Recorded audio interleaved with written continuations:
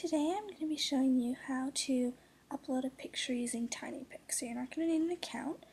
And the first thing you need to do is you need to go to tinypic.com. So that's T-I-N-Y-P-I-C dot com.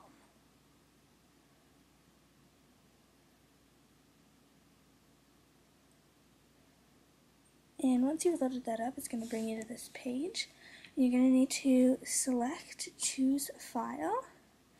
And I've got a nice picture of Kit. You need to select the file that you've got on your computer that you want to upload and you're going to click choose. Uh, you don't need to add any tags at this point in time. You need to make sure that it's set to image. And then we need to resize your picture so it's not huge. So um, a good size to pick is message board. Uh, that's not quite, that's not too big and not too small. So you're going to click on that one. And then once you're finished that, you're going to click upload now.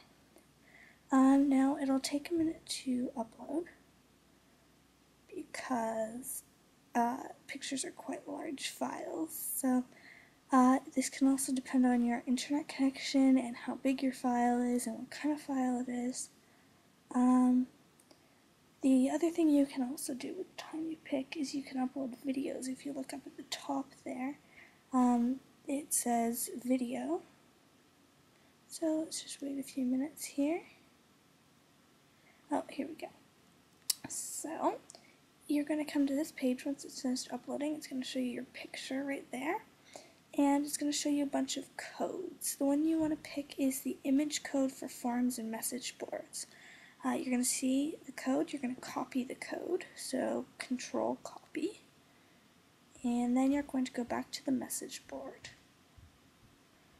And to put your picture in a thread, you're going to do, you're going to start a thread like you normally would, and you're just going to put the code where you would normally type your text.